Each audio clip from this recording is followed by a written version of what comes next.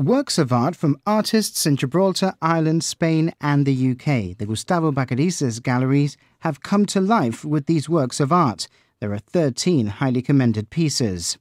In the main categories, Zulaika Vallance was awarded the Mario Finlayson Prize for Best Young Artist for her work History of Atypical Representation.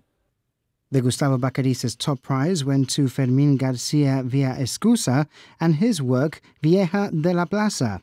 Meanwhile, the Jacobo Azagury prize for second place was awarded to Javier Plata's Mareorama 53.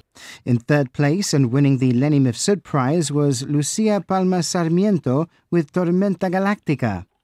And Francisco Luna Galvan won the Rudesindo Mannia Prize for the Best Gibraltar theme with Marina 11. The adjudication was carried out by Mercedes Gorbacho Rodriguez, director of the Cruz Herrera Museum in La Linea. Opening the exhibition, John Cortes said the competition provided an opportunity for artists from Gibraltar and abroad to compete and exhibit side by side.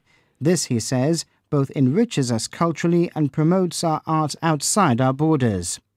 The exhibition is now open at the Gustavo Bacarisas Gallery until Saturday the 14th of November between 10.30am and 6.30pm on weekdays and 10.30am and 1.30pm on Saturdays.